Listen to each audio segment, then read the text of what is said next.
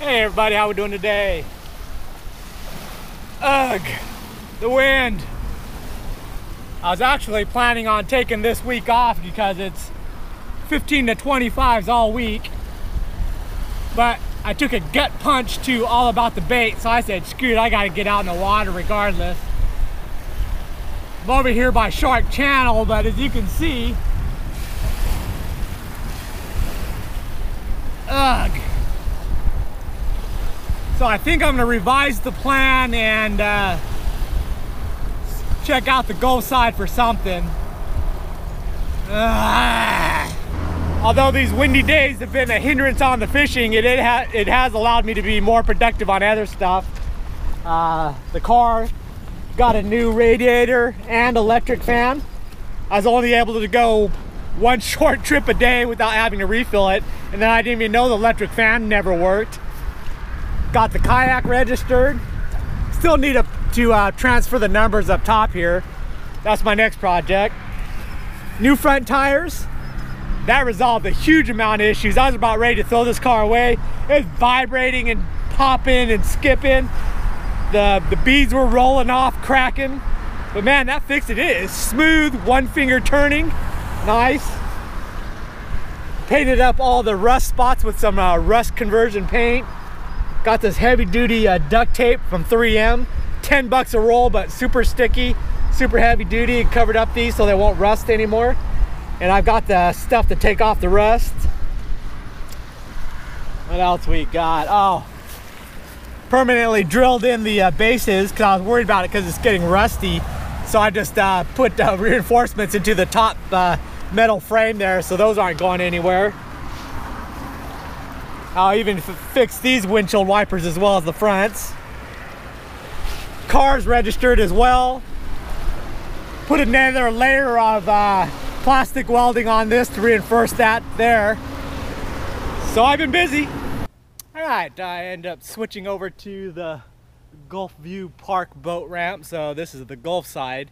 You saw how windy it was over Atlantic. So coming out of the east southeast is just uh, too much. So coming on this side hopefully I could uh, find some shelter. I'm going to try to hit uh, I think it's called Duck Key?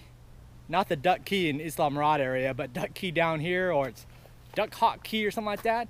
And there's kind of a sheltered cove in there and I'm just going to work that flats today. So uh, I've got the ladder but I brought the spinning reel uh, gear the uh, Eskies and uh, I decided not to do fly because it's actually close to three o'clock so I only have like three four hours before it gets dark. So go out there. Um, I've got a couple little things I'm going to test out and then uh, see if we can catch something. At the minimum I got out. All right we made it out to the first backcountry flats here. Uh, boat launch is just basically right there. So this is the first key and this this is the uh, flats that I'm going to work the wind is basically blowing straight across this way so there'll be a few sheltered little bays out here that I'm going to kind of sit in and work. We're at really really low tide. I haven't seen it this low before in a long time but we're kind of going to be angling towards flats fishing so that's maybe not such a bad deal. It should be on an upcoming tide so that might be a little bit helpful but uh, let's get in a little pocket and then I'm going to rig up. These little guys uh, maybe a couple inches deep, but there's fish here. I don't want to spook them. Oh, there he goes.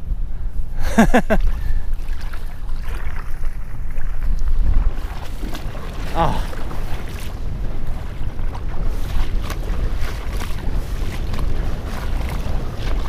See if he'll come and get me. So those are the kind of fish I might play with right now. All right, we're seeing a little bit of uh, activity, so that's good. Um, I'm actually getting a little excited here. But uh, what I'm doing is uh, throwing these little uh, bonefish jigs, flats jigs they call them. They've got a little triangle head, but it's a flat, so it keeps the hook point facing up, and then you could bounce it along the bottom. Uh, they generally have, well, there, there is a couple of uh, mono weed guards there. You bend them up and uh, I get them from uh, West Marine for like a couple bucks. These are Wahoo. They're the, kind of uh, cheap jig makers, but they call it a bonefish uh, bucktail jig. I just use brown or white, got a bunch of different colors. This is the 1 8 I prefer the quarter for being able to cast, get through these winds, but they've been out of them. But yeah, pretty good. And then I put a piece of a chunk of shrimp on it just for a little bit of scent as well. But that's what we're gonna be working. I think I'm gonna go around this bend out of this wind and then I'm gonna just walk around because it's a couple of inches so and see what we can catch. Maybe even those little dink sharks. Well I'm glad I brought the, the ladder so I have some decent visibility when the sun's out plus being really low tide. I'm just looking for any type of movement whether it be just ripples in the water shadows wakes anything well, the wind kind of shifted. Now it's blowing directly out of the east this way. So it's blowing up this uh, little bay originally thought I was going to be able to work when it was kind of coming out of the southeast. So although it's kind of laid down here, it's only because it's three or four inches, but that wind is full force through here. So I'm gonna work this cut where the uh, channel that goes through there and then get on the other side and see if uh, that's any better. The only problem is that side doesn't have any flats like this. It's more uh, crabgrass, but uh, you never know, so we'll take a look there. Saw some movement over here in the sand, so I'm gonna go check it out. All right, there's a fishy right there. Can't tell what it is.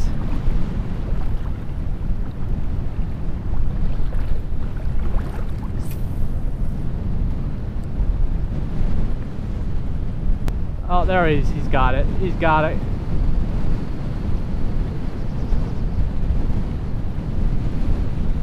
There we go. oh! Loosen the drag for this guy. Hey!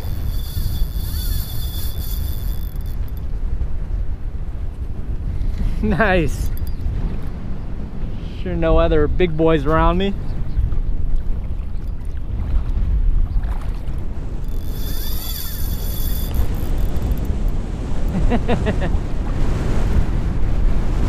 Good practice. Oh no, no, no, no, no. Stay away from there. All right. I just want to make sure I don't lose my jig. Or get bitten in the toe.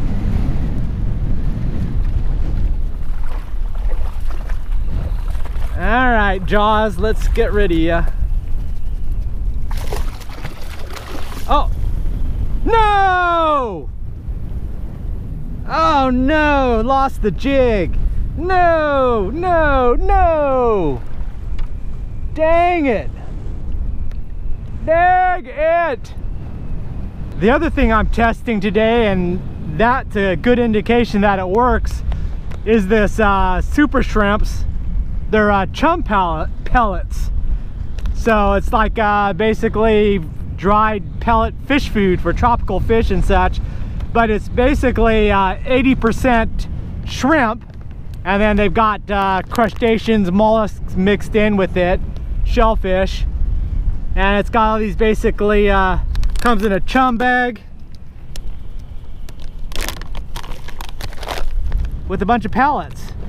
Now I wasn't too sure about it until I smelled it and it smells just like dried shrimp. And you can just kind of scatter them around and they're different sized pellets so they're supposed to last between two hours and six hours.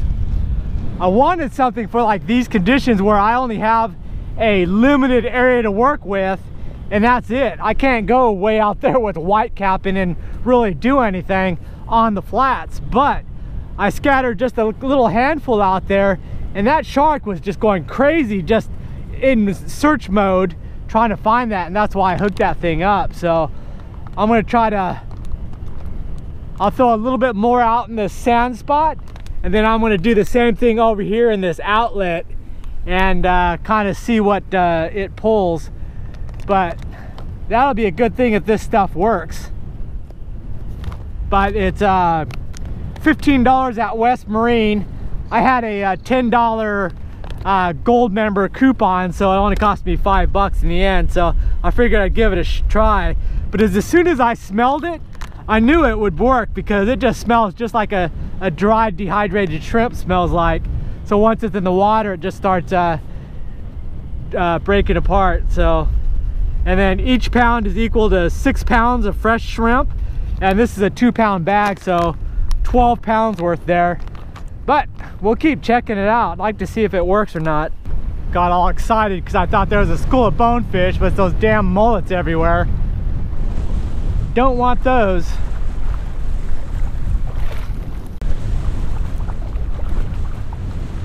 I see some fins. Pretty sure it's a nurse shark though. See it flick right there?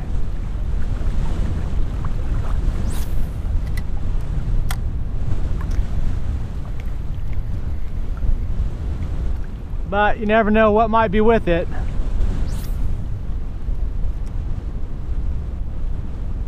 See if it's gonna pick it up or not. No.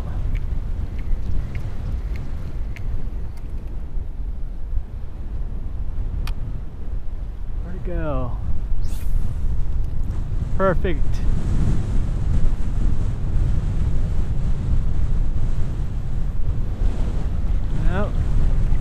not interested.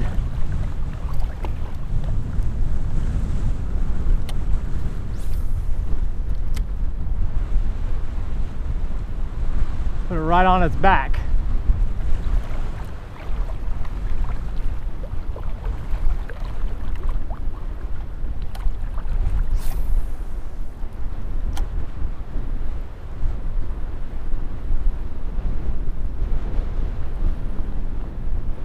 On it. Swimming right over it. And gone.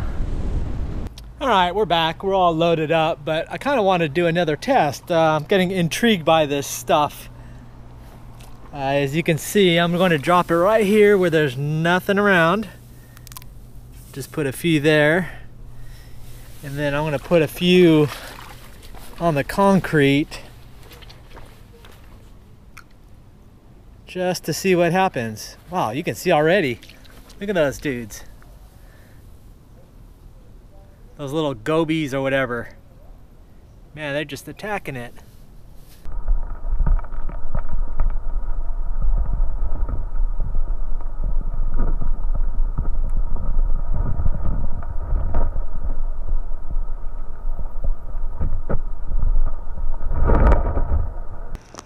I know you probably can't see it, but the mangrove snapper started to come as well. I don't know if they're attracted to all these bait fish eating those things up. But man, they're just all, each, each, each pellet has a circle of bait fish around them. Little gobies. Yeah, I see them. There's the mangrove snappers. Whoa!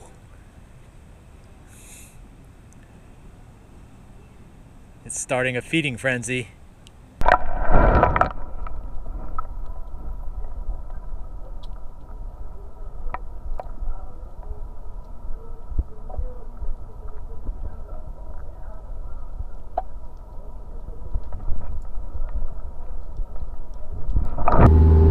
We are done on the way home. Uh, it was a good stress reliever day. I'm happy I just said screw it and went out after that all about the bait gut punch. But now I have to go home and deal with it. But uh, yeah, caught a shark. Can't complain. Hit the tide just right. I love that uh, wading now more than ever. Kind of fish hunting. But uh, that new shrimp pellet stuff intrigues me. So I want to play with that stuff a little bit more. I'm thinking uh, it's still going to be windy like this for another couple of days, so I might burn a day tomorrow and um, go out to the shark channel, that flats that I always hit that goes right along the channel and the mangroves, dump some of that stuff out there and see what happens. that'll be a little bit better test because it has, today I, I just could not get out of the wind. Uh, my predictions on where the wind was going to be was just not right. Uh, but over there it'll definitely be uh, a lot uh, calmer areas and I can kind of see what that stuff will pull. I have a feeling it's going to work out really well. What, and that's kind of what I want it for is to, uh, on these windy, windy days when I don't have a lot of uh, working room, being able to have those pellets and throwing them out there and uh, maybe attract some bonefish or something. And even on these calmer days, I'll kind of want to take it out to the backcountry there and uh, hit some of the spots where I know that those bonefish are coming up and kind of pepper those areas and maybe uh, get them up a little bit quicker and make them hold a little better. So uh, yeah, new toy to play with. I always enjoy that kind of stuff. Do my R&D. But uh, anyways, uh, thanks for watching and I'll see you next video.